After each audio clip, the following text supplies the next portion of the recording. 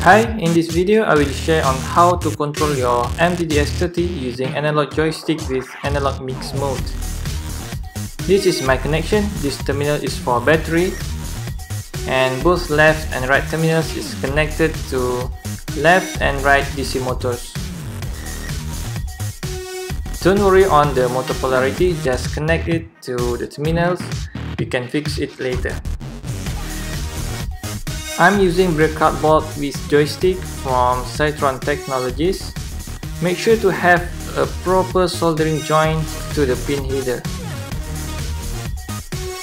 Okay, let's check on the joystick connection. First, connect the ground pins. Second, connect AN1 to Y axis. Then connect AN2 to X axis. Last but not least, connect 5V to VCC pin. Don't forget to set DIP switch to analog mix mode. It is 0, 1 and the rest is 0. Now I will power up my driver. So let's try.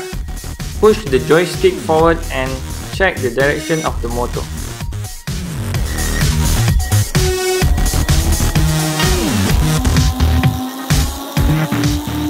Left motor direction is wrong, it is reversed. Now try the opposite direction. Again, left motor direction is wrong. Okay, let's fix it. Please turn off the power first. Swap cables at left motor terminal.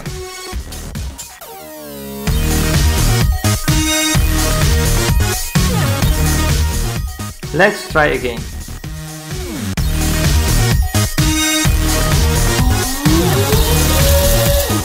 Now, the direction is correct. Let's try all directions.